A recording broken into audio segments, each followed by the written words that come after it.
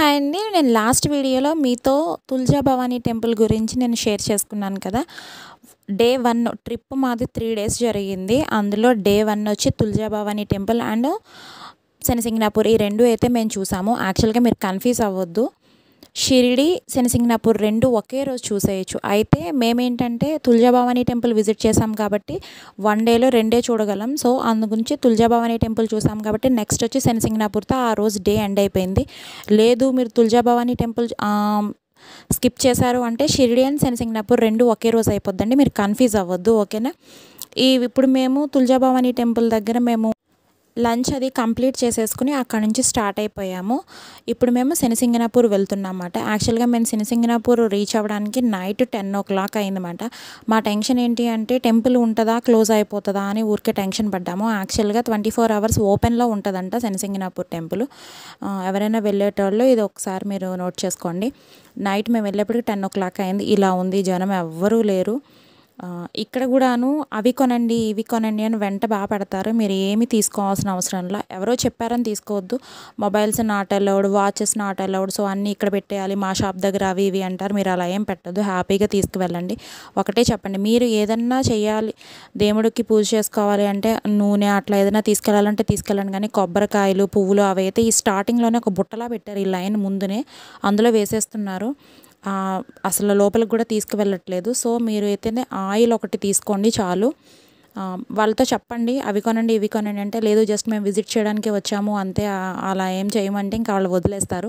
చూడండి ఇదిగోండి స్వామి ఎంత ప్రశాంతంగా దర్శనం అయింది అంటే నైట్ టెన్ ఓ క్లాక్ కదా ఎవరూ లేరు హ్యాపీగా దర్శనం చేసుకున్నాం.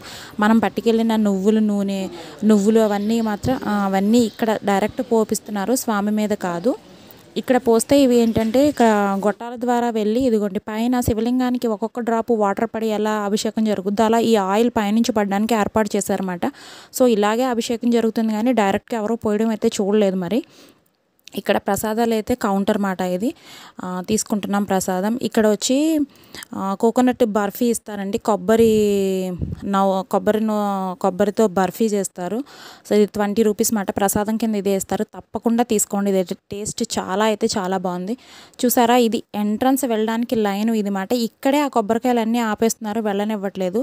ఇదంతా కూడాను గుడి సరౌండింగ్స్ మాట. లోపల పక్కన ఉన్నది. చిన్న చిన్నగా ఇంకా చిన్న చిన్న టెంపుల్స్ అవన్నీ కూడా ఉన్నాయి ఇక్కడ.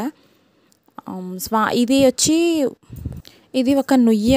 ఇది ఏంటంటే దేవుడికి వాటర్తోనే అభిషేకానికి అవన్నీ యూస్ చేస్తారేమో కానీ అది టచ్ చేయడానికి లేదు. మొత్తం గ్రిల్స్తో చేసేసి ఉంది. ఎవరు వెళ్ళడానికి లేదు. ముట్టుకోవద్దని కూడా రాసి ఉంది.